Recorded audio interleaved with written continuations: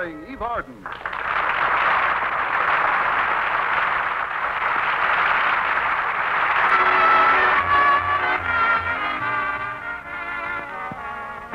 The life of an average school teacher tends to run along a fairly smooth and even path.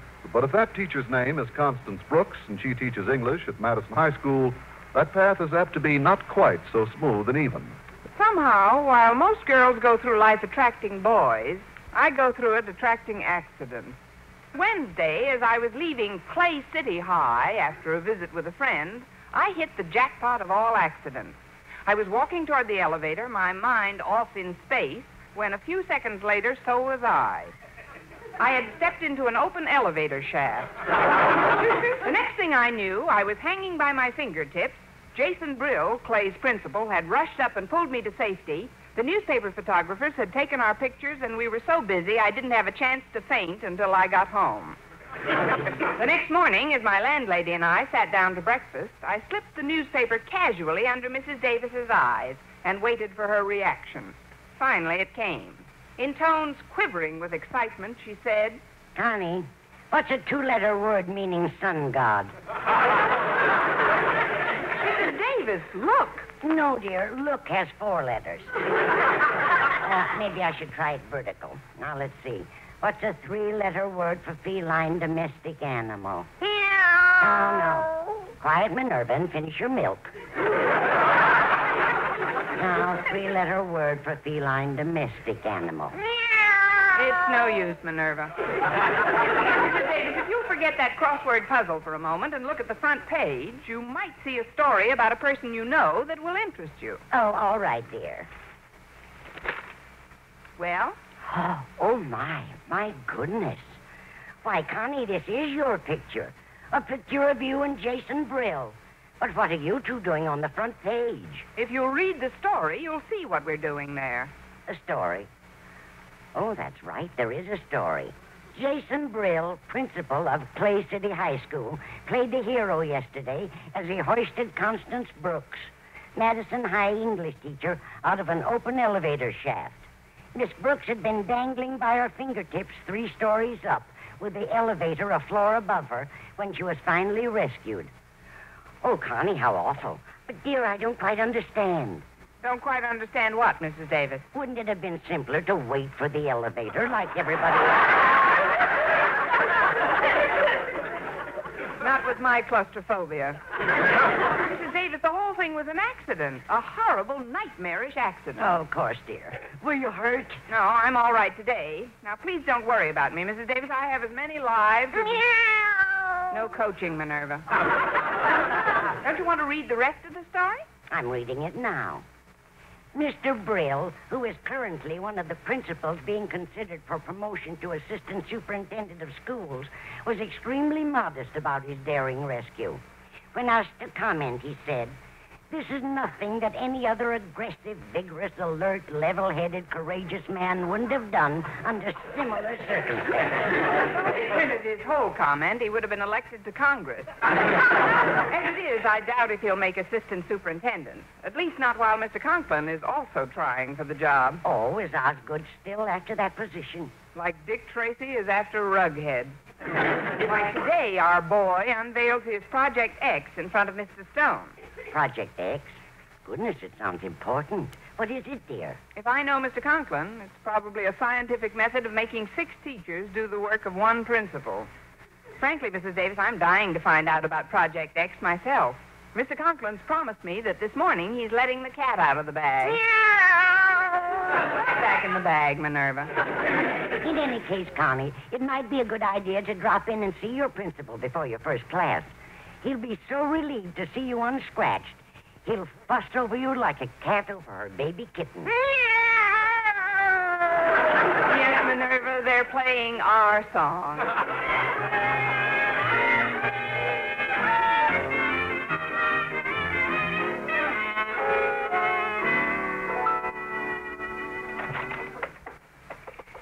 Well, here I am, Mr. Conklin, in perfect health, none the worse for wear, not a scratch on me, and ready to start the day's work with a brave smile. So don't you worry one bit.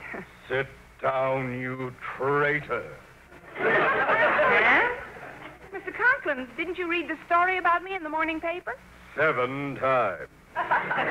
Miss Brooks, you knew I was in a life and death struggle with Jason Brill for assistant superintendent. You knew that making him a hero would practically ruin my chances. For lo, these many years, you have been enjoying all of your accidents right here at Madison. and now, when I need you most, why did you have to take your business elsewhere? It was rather thoughtless of me, sir. And I was so confident that when I unveiled my Project X before Mr. Stone at 3 this afternoon, it would dwarf all of Brill's recent projects. But now, with his hero story... Uh, is this your Project X, sir? This desk microphone and the instrument panel with push buttons? Uh, yes, yes, it's an amplifying system. Sitting right here in my office, I can press buttons and hear what's going on in any classroom or hallway. I can check on my teachers and students at any time. Board of Education was delighted when I suggested they try out the system at Madison. Would you show me how it works, sir? Uh, well, I had promised my daughter Harriet she would be the first to hear it this morning, but I don't know what's happened to her. Oh, I'm certain she wouldn't mind if I heard it first. Well, no, I suppose not. Well, all right, I'll flick it on. We'll uh, warm up with room 100, although it may be unoccupied at this early hour. Oh, come on, Harriet. Just one little kiss. no, Walter. Daddy wouldn't like it. Who wants to kiss him? Please, Harriet. One teensy weensy little kiss. Denton, unfuck her this instant! What? Harriet, you know you're getting to sound more like your old man every day. Well, that wasn't me, Walter. Well, don't tell me it's my conscience talking.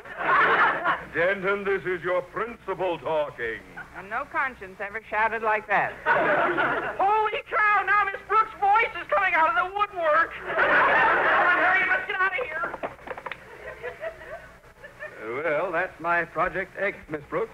And if you hadn't made a hero out of Jason Brill, it would have been enough to sway Mr. Stone in favor of my promotion. I tell you frankly, if Mr. Stone selects Jason Brill for that job, I'm going to be in a very ugly mood indeed. Yes, sir. I will hark back constantly to the incident that caused my defeat, knowing always at whose doorstep to lay the blame. You can imagine what may occur. Yes, sir. For the next six months, you're liable to trample all over my welcome mat. Well, since I had made a hero out of our principal's arch rival, Jason Brill, Mr. Conklin felt that I had cost him his promotion to assistant superintendent. Just before lunch, Mrs. Davis phoned to find out how I was feeling, and I gave her a rundown of the situation. Connie, I'm amazed at Osgood. Do you mean he wasn't a bit happy to see you up and around? He acted more like he wished I were down than under. he feels I've cost him his promotion. Well, he's just upset, dear. Why, with a wonderful project like that amplifying system, he should be able to walk into that new job. over a road of broken eardrums. That system is driving us all crazy, Mrs. Davis. He listens in on us in the classrooms, in the hallways, in the recreation room. And a few minutes ago, I had the shock of my life in the female faculty room. My goodness. Well, Osgood is just sulking, Connie. Still, it would have been better for you if he had been the hero. Well, it's too late to worry about that now, since. Mrs. Davis, what did you just say? Well, I said, oh, goodness, Connie, I'm afraid I wasn't paying attention. What did I say? Yes. Why not? No, I'm certain I didn't say yes. Why not? Mrs. Davis, you're a lifesaver. Well, goodbye now. I've got to meet Mr. Boynton in the lunchroom and break the good news to him. Good news? What good news, Connie? That at 3 p.m. today, he's going to be rescued by Mr. Conklin from a terrible accident.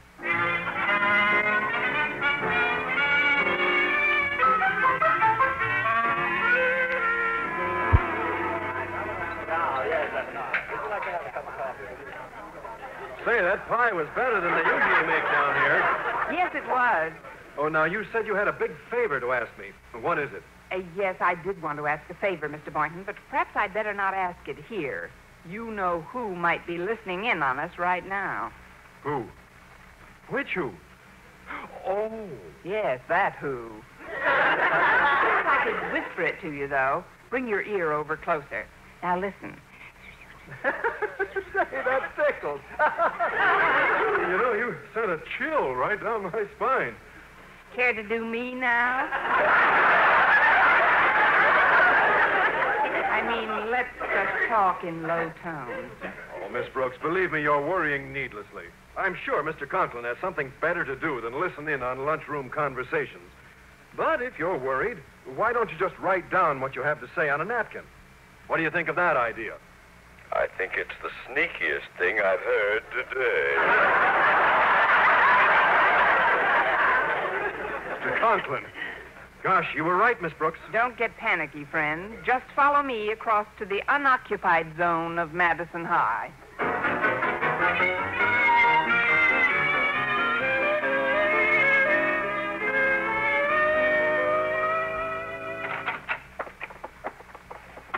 We'll be perfectly safe from him here in the boiler room, Mr. Boynton. There isn't a wire in the place, see?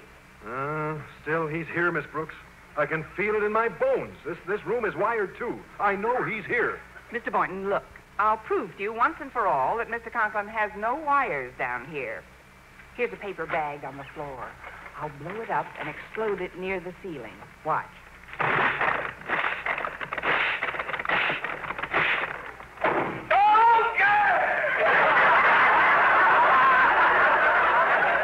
He is here. He is here. Now, please, Mr. Boynton, get up off your knees. I can't hear. What happened to my eardrum? Where is everybody? Mr. Conklin. I can't hear. Say something, somebody. Please. Mr. Conklin, can you hear me, sir? Talk, somebody. I can't hear a thing. Say something, somebody. Go jump in the lake, fish face.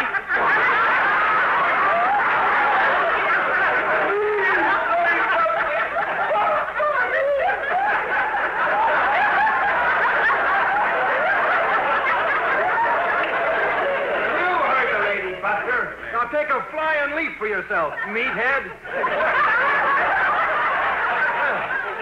you hear what I called him, Miss Brooks? If it's a question of your getting the Medal of Honor, I'll be your witness. Well, now that Mr. Conklin can't hear us, what was that big favor you wanted? Mr. Stone is coming over at 3 this afternoon to hear the amplifying system in action. And when he presses the button to hear what's going on in your laboratory, I was wondering if you could be in the midst of a fake accident yelling for help. Oh, I see. You mean if I have this fake accident and Mr. Conklin saves me, Mr. Stone may pick him for that promotion and we'll be rid of him and his amplifying system. You ain't just burning your Bunsen, Boynton.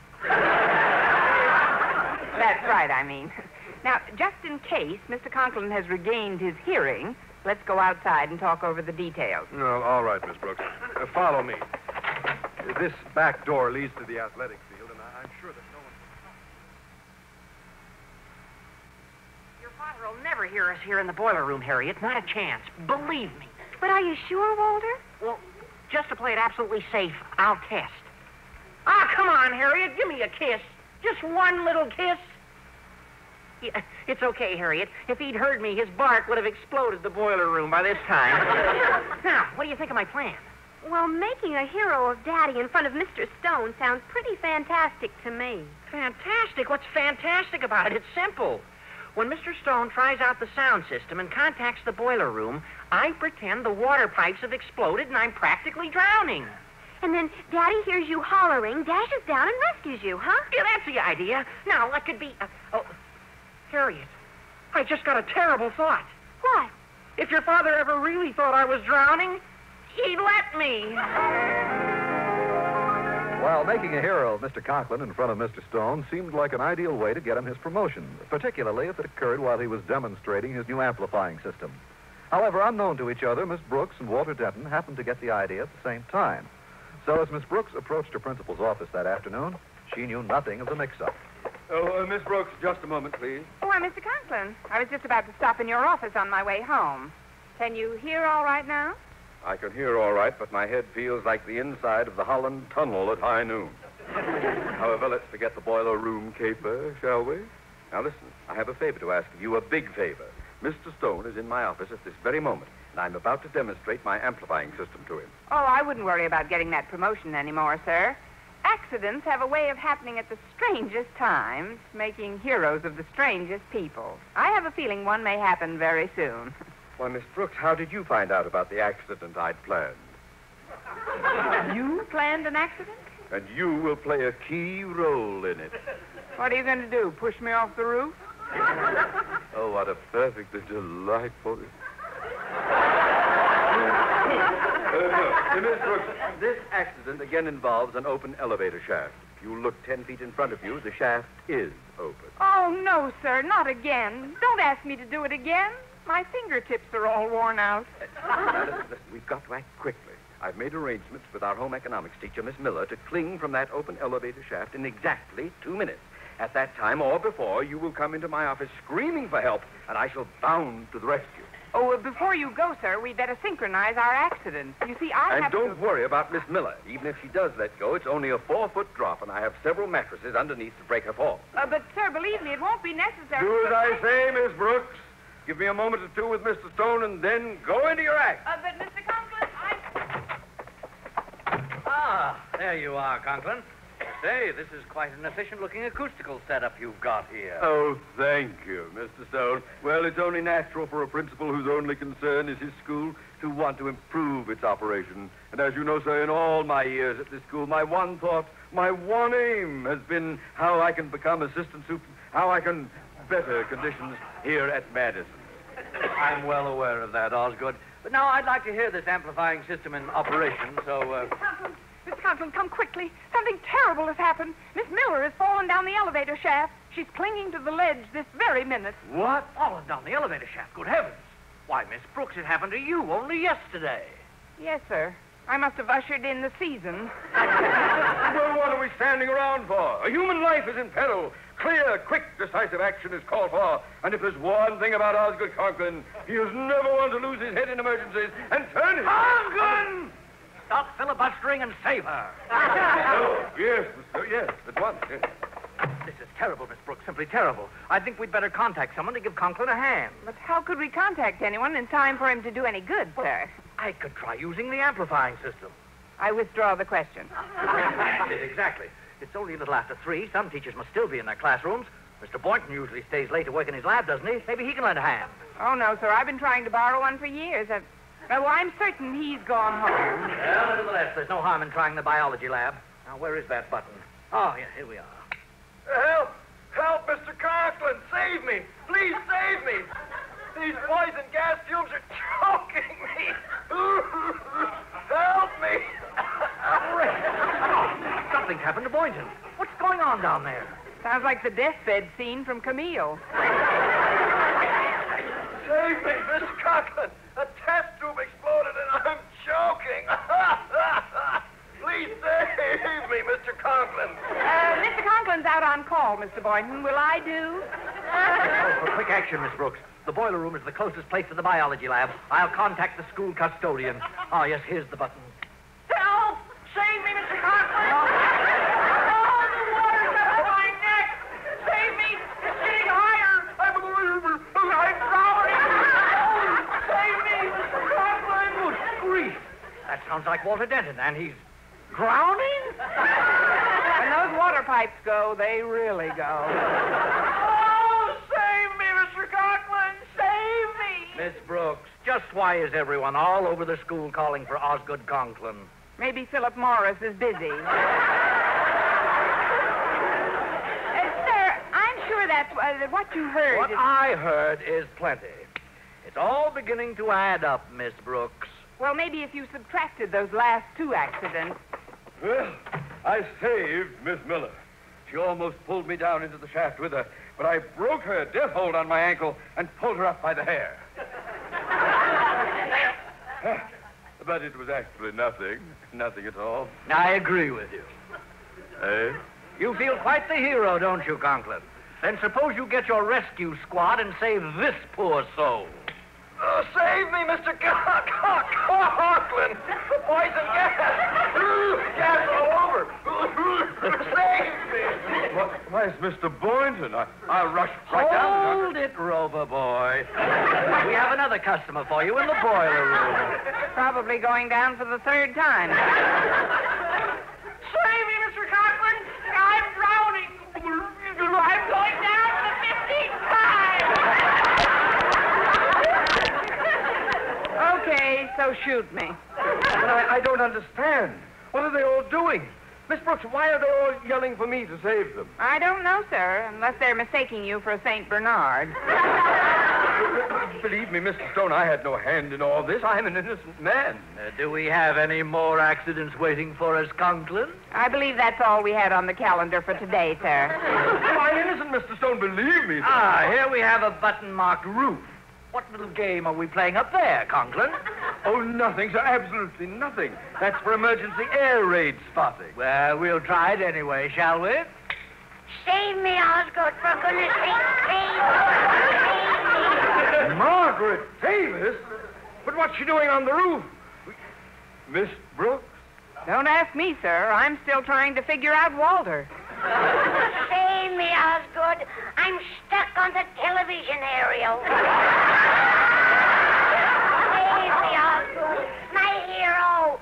Save me. I think I've heard enough. Conklin, I don't know whether to bring charges against you or just continue to tolerate your occasional lapses into complete idiocy. But one thing is certain neither you nor Jason Brill will be recommended for that promotion. Neither one of them? No, Miss Brooks. And don't try to tell me now that you didn't stage that Perils of Pauline act yesterday, too.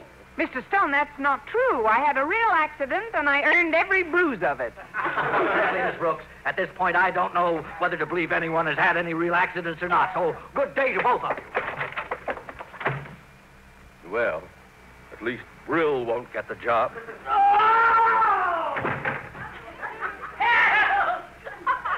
What was that? Oh, it's Mr. Stone, sir. He fell down that open elevator shaft. Now, isn't that a shame?